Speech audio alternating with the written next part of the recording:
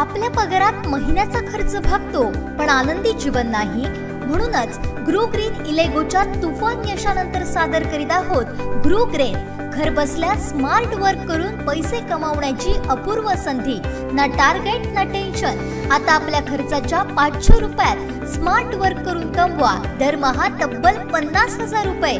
अधिक माहितीसाठी या नंबरवर नाव आणि शहर व्हॉट्सअप करा. चौऱ्याण्णव तेवीस एक्याऐंशी शून्य तीन त्र्याण्णव. चौऱ्याण्णव बावीस अठरा त्र्याऐंशी शहात्तर.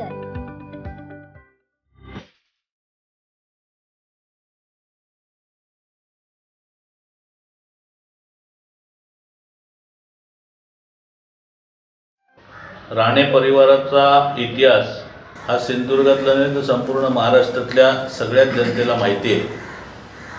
फक्त आज जी पुनरावृत्ती झालेली आहे ती भारतीय जनता पक्षाच्या जुन्या निष्ठावंतांनी विचार करण्याची गोष्ट आहे की आपण घेतलेला साप हा आपल्या गळ्यात एवढा प्रचंड विळखा घालणार आहे की भविष्यामध्ये भाजपची संस्कृती ही रक्तरंजित झालेली बघायला मिळेल जो दहशतवाद हा राणे परिवाराचा होता तो आता भाजपचा दहशतवाद होतोय की काय?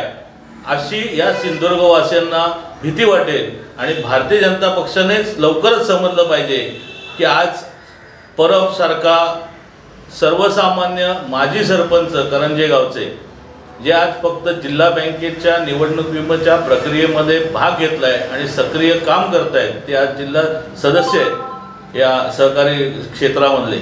आणि म्हणून कुठेतरी आकसाने जर राजकीय हेतूने जर हा हल्ला झाला असेल किंवा होत असेल तर ही अतिशय खेदाची गोष्ट नाही तर ही पुन्हा हा दहशतवाद उफाळून येतोय. म्हणजे ज्यांना सत भारतीय जनता पक्षाने सत्तेची गा ऊब दिली आणि केंद्रामध्ये सत्ता दिली आणि केंद्रामध्ये सत्तेचं स्थान दिलंय ते त्या उभेने आज पुन्हा सिंधुदुर्ग रक्तरंजित करणार आहेत का? हा सर्वात मोठा प्रश्न या सिंधुदुर्गवासियांना आता भेडसाव लागलेला आहे.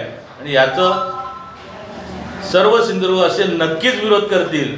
आणि हा जो काय दहशतवादाचा नंगानाच आहे हा या जिल्ह्यामध्ये खपून घेतला जाणार नाही. यांना जर वाटत असेल की आम्ही सत्तेत आहोत केंद्रामध्ये म्हणून वाटेल ते करू तर त्याचं उत्तर हे या जनते ही जनता नक्कीच देईन. मागच्या वेळेलाही या जनतेने त्यांना उत्तर दिलं होतं आणि त्यांच्या दहशतवादाला संपूर्ण नेस्तनाबूत केलं होतं. भाजपने नक्कीच विचार करावा की आपण कुठली विषवल्ली वाढवतोय आणि याची विषारी फळं ही भाजपला कुठल्या रसातळाला घेऊन जाणार आहेत? कुडाची नगरपंचायत ह्याचं जिवंत उदाहरण आहे. आता तरी त्यांनी विचार करावा आणि योग्य तो निर्णय घ्यावा. आणि तो निर्णय या सिंधुदुर्गाच्या हिताचा असावा. नाहीतर सिंधुदुर्ग जन सिंधुदुर्गातली जनता भारतीय जनता पक्षाला नाकारायला वेळ लागणार नाही हे भारतीय जनता पक्षाने लक्षात घेतलं पाहिजे.